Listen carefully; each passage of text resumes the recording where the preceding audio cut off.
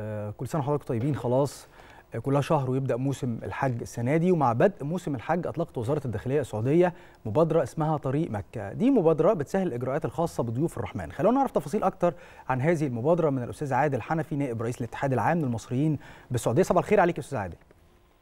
صباح الخير أستاذ محمد صباح الخير أستاذة هدية. أهلا بحضرتك يا يا فندم. فندم. عايزين نفهم في البداية كده وتعرفنا أكتر عن هذه المبادرة.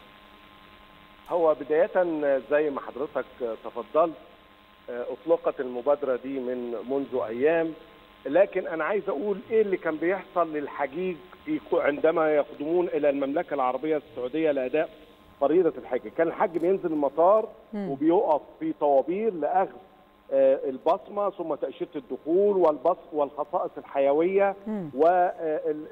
والتشييك على النواحي الصحية واستلام الامتعه ثم التوجه إلى إلى أماكن إقامتهم. الوضع اختلف تماما عن طريق هذه المبادرة، الحج بيتم عمل كل هذه الإجراءات و و واستقبال ضيوف الرحمن في بلادهم، يعني من هو في بلده هيتم إجراء آه هذه ال- الإجراءات اللي أنا قلتها ذكرتها من شوية. وهو في في في بلاده علشان يتم بمجرد وصوله إلى المملكة العربية السعودية بيدخل مباشرة وبيستلم أمتعته. فين بقى؟ بيستلم الأمتعة بتاعته من حقائب وخلافه داخل مقر سكنه. يعني بيطلع من الطياره مباشرة إلى مقر سكنه. وده بالفعل حصل آه، منذ أيام منذ يومين بالتحديد.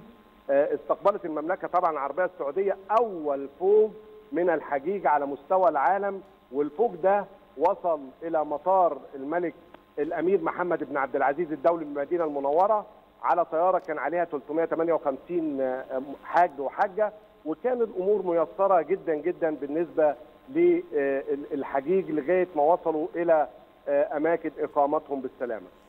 طيب آه، أستاذ عادل عايز أسأل حضرتك كمان عن الاشتراطات الصحية هل في اشتراطات صحية مختلفة أو اشتراطات صحية جديدة وضعتها المملكة العربية السعودية مختلفة عن السنين اللي فاتت آه، مع انخفاض أعداد الإصابات بكورونا آه طبعا أستاذة هدير الاشتراطات الصحية لابد أن يكون آه الحاج أو الحاجة آه واخد التطعيمات كاملة والتطعيمات المعتمدة داخل المملكة العربية السعودية.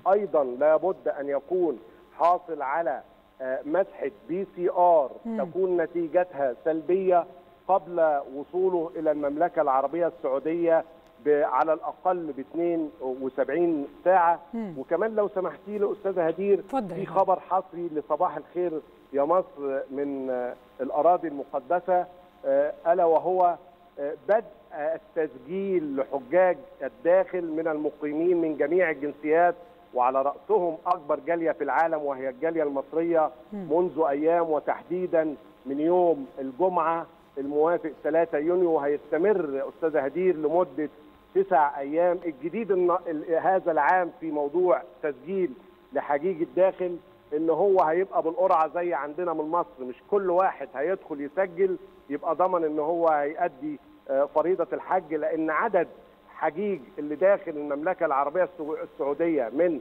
المواطنين والمقيمين 150 ألف حج فقط وعدد الحجاج من خارج المملكة 850 ألف حج من جميع دول العالم.